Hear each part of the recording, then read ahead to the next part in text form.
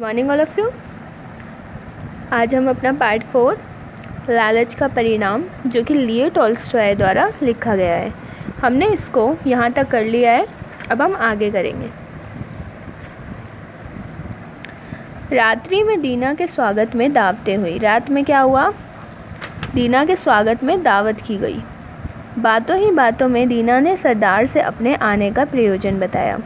बातों ही बातों में दीना ने क्या किया? सरदार को भी ये बता दिया कि वो यहाँ किस लिए आया है।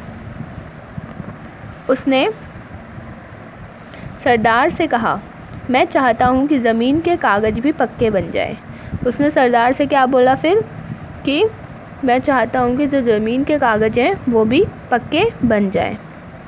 सरदार ने कहा, इस काम में कोई मुश्किल नहीं होगी। सरदार ने क्या बोला कि इस काम में कोई भी मुश्किल नहीं होगी, क्योंकि उनका मुंशी कस्बे में जाकर लिखा पढ़ी करके कागज़ बना देगा।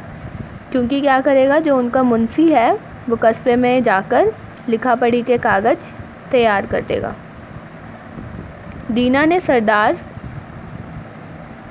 से ज़मीन का दाम पूछा। दीना ने क्या किया? सरदार से ज़मीन का दाम पूछा।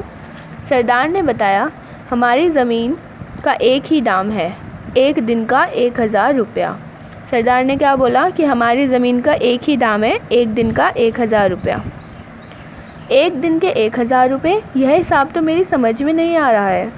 ये बताएँ कि कितने रुपए में कितने एकड़ ज़मीन मिलेगी? तो दीना को यह हिसाब समझ में नहीं आया कि एक दिन के एक हज़ार रुपये तो उसने ये पूछा कि ये बताइए कि कितने एकड़ ज़मीन हमें मिलेगी, वो भी कितने रुपए में? सरदार मुस्कुराकर बोला, हमारे यहाँ ऐसा ही हिसाब है। सरदार ने मुस्कुराकर क्या बताया कि हमारे यहाँ ऐसा ही हिसाब है।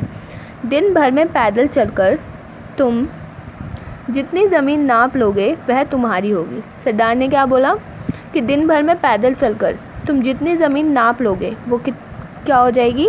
तुम्हारी हो जाएगी। कीमत केवल एक हज़ार रुपये और जितना भी तुम चल के नाप के आ जाओ मतलब जितना भी तुम चल लो, यानी नाप लो, वो तुम्हारी हो जाएगी। और ये काम अगर तुम एक दिन में करते हो तो एक दिन का एक हज़ार रुपये, अगर दो दिन में तो दो हज़ार रुपये। यह सुनकर दीना मन ही मन बहुत खुश हो गया। ये बात सुनकर जो दीना था, वो मन ही मन बहुत खुश हो गया। सरदार फिर बोला, हमारी केवल एक शर्त है। फिर सरदार ने क्या बताई? अपनी एक शर्त बताई। शर्त? कैसी शर्त? दीना ने हैरानी से पूछा। जिस जगह से तुम चलोगे, सूरज ढलने से पहले के पहले तुम्हें उसी जगह पर वापस लौटना होगा। तो दीन, दीना ने हैरानी से पूछा कि आपकी क्या शर्त है? तो सरदार ने बताया कि जिस जगह से तुम चलना शुरू करोगे, सूरज ढलने के पहले तुम्हें उसी जगह पर वापस लौटना होगा। यदि तुम सूरज ढलने के पहले वापस नहीं आ सकोगे तो तुम्हारे पैसे तुम्हें वापस नहीं किए जाएँगे। दीना ने कहा, मुझे शर्त मंजूर है।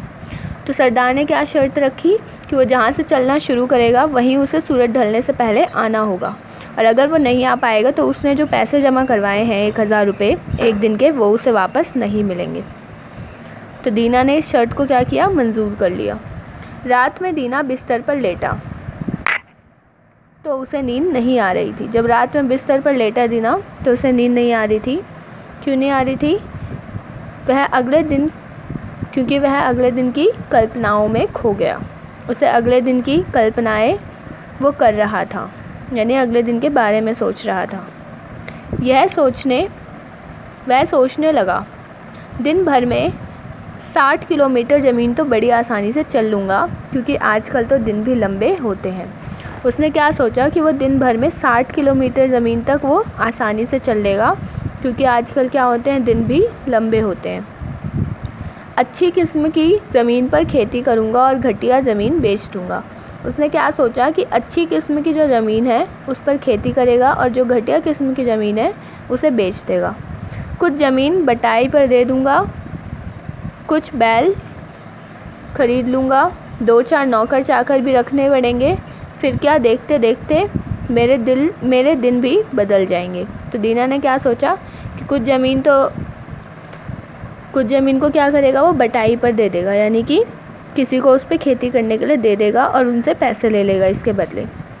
कुछ बैल भी ख़रीद लेगा और दो चार नौकर चाकर भी रखेगा।